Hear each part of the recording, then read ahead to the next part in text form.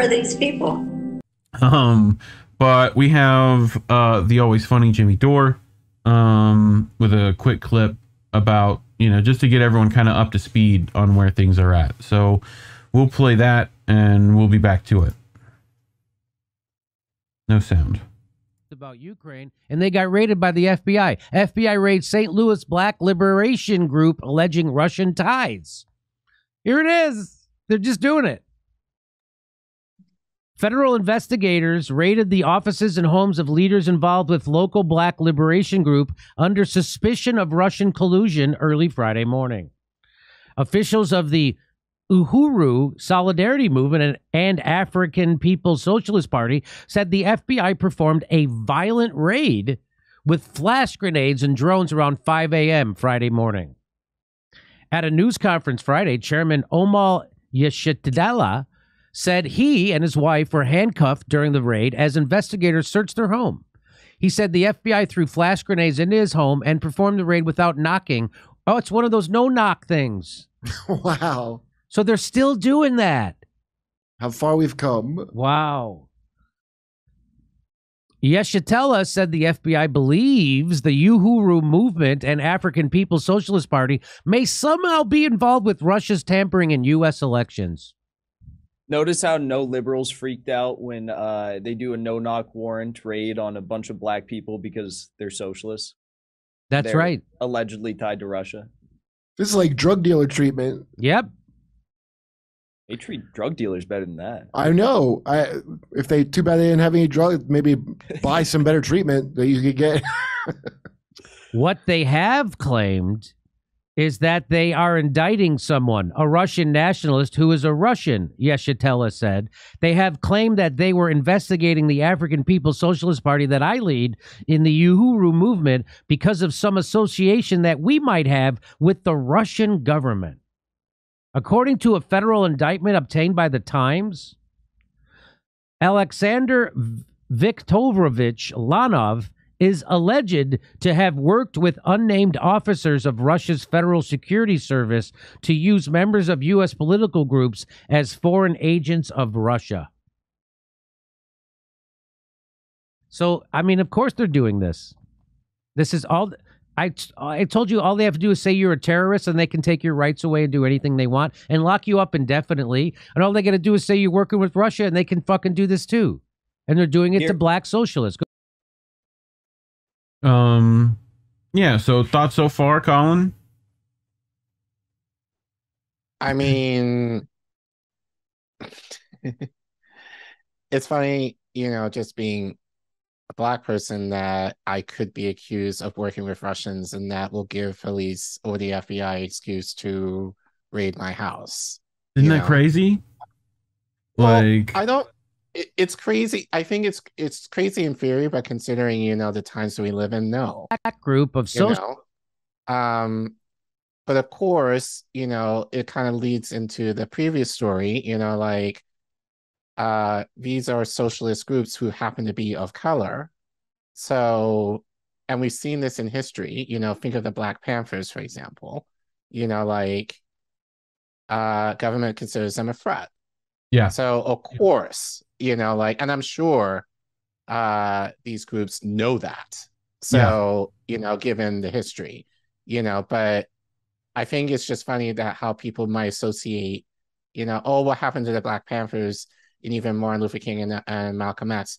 That happened, you know, like ages ago. That's not going to happen now. No, like it's still happening Yeah. you know so um so yeah that's just kind of where my thought w- went it's just like I- think if you're if you're considered revolutionary you know you this is on par for the course for you like this is this should be an ex- expectation you know that you know Yeah. have stuff like this happen to you Yeah.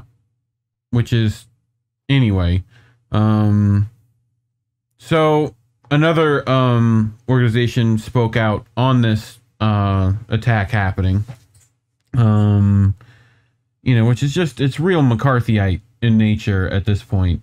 Um you know, um but so the Black Alliance for Peace, otherwise known as the BAP or BAP, unequivocally condemns and oppress, uh, opposes the latest domestic U.S. state uh, repression and intimidation tactic uh, currently being leveled against the African People's Socialist Party, the APSP. So on Friday, July 29th, 2022, um, the FBI ex- executed multiple raids against APSP's Uhuru House in St. Petersburg, Florida, and their Uhuru Solidarity Center in St. Louis, Missouri, and the private residence of the APSP chairman, Omali, uh, Omali Yeshitela. Also in St. Louis, the FBI employed flashbang grenades and handcuffed Yeshitela and his wife. While their house was raided, the FBI claims that the raids are connected to the federal indictment of a Russian national, Alexander Ionov, uh, alleging that he has been working to spread Russian propaganda in the United States. Um, BAP believes that these raids continue the history of state repression directed against black people in the U.S. This repression now occurs under the guise of opposing adversary nations, but regardless of how the, these actions are characterized, black people still bear the brunt of surveillance and police violence. The APSP has the right to freely associate with people around the world, to hold any political beliefs it may choose, and to express them without fear of intimidation, persecution, or prosecution. We believe this re- uh, repression to be a hysterical response to the United States' loss of legitimacy in the context of a deepening crisis of capitalism and U.S. global hegemony. Uh, the unleashing of policing and counterintelligence forces domestically and increased militarism and warmongering abroad in the name of national security are the only avenues left to the U.S. ruling class that is engulfed in an irreversible economic crisis. They represent the hallmarks of a naked fascism that the U.S. ruling class appears to be increasingly committed to in order to maintain the rule of capital. BAP reminds the public that the war against working class people generally and black, brown, and indigenous workers particularly is ongoing. The masses must acknowledge and resist this reality. While it is APSP today, it will be it will ultimately be the rest of us tomorrow. Resistance is our only option. Thoughts, Collin? Didn't I just basically say that earlier? Yeah. Yep. Mm-hmm. I mean, this is history repeating itself.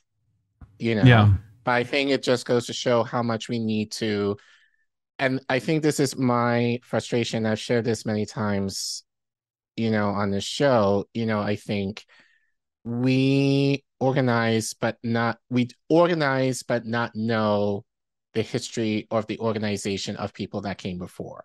So like I'm sure for these people they were just like, okay, yeah, you Yeah. know, but anyone who is not aware that this is what should be happening would be more like I think more surprised. And it really shouldn't be.